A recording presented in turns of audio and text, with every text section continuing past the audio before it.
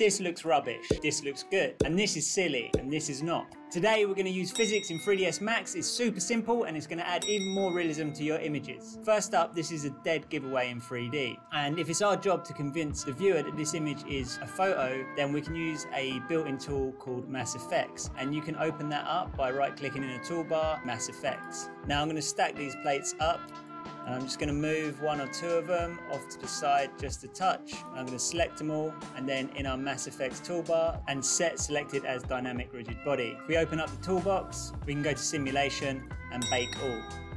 And what this is going to do is keyframe our animation so we can actually slide through and select where we want to keep and we can just delete all the other keyframes.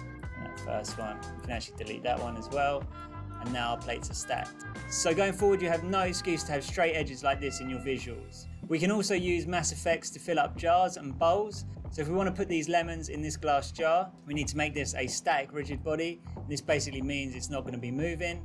And this mesh that's come up is what these lemons will acknowledge. So we actually want to change this because it's con concave. And I'm going to hit generate and it's going to generate a new mesh so our lemons can fall within the jar. Now I can already tell that that's not going to do it because we can see lines coming across.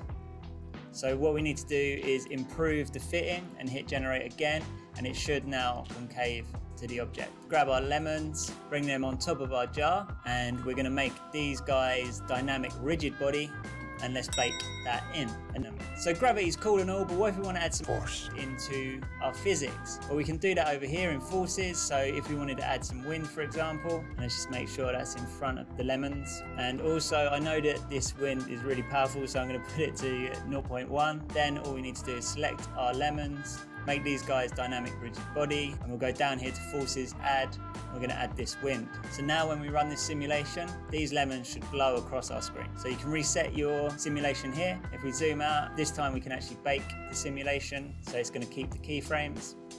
And there's our lemons blowing away. Finally, let's add another force, and this time we're gonna add a P-bomb. And all we need to do is position that where we want, so this is where the force will come from. We're going to change the start time because otherwise it's going to kick in at 30, which is too late. Let's just put it on 1. I'm just going to put this on 0.5 as I don't want them flying absolutely everywhere. Let's select all of these lemons, make them dynamic rigid body. We'll go in here and add a force, and this time we're going to add the P-bomb, hit bake all, and let's see what that can do. Don't be a lemon, use physics, and if you like this video, then like this video. Bye.